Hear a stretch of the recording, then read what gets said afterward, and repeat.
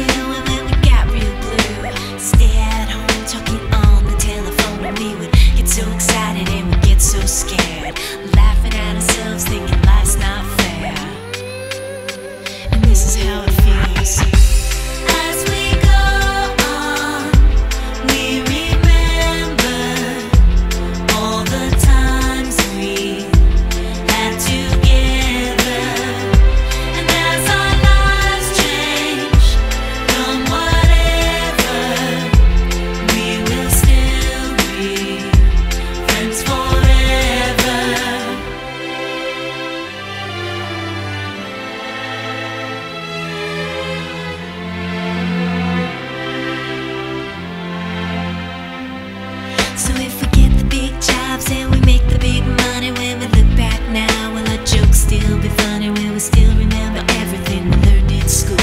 Still be trying to break every single rule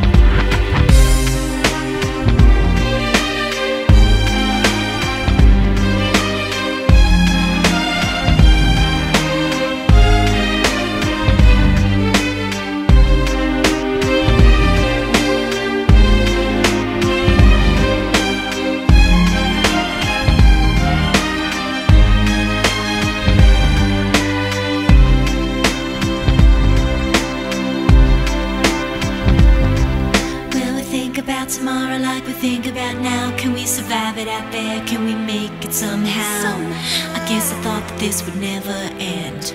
And suddenly it's like women and men. Will the past be a shadow that will follow us round? Will this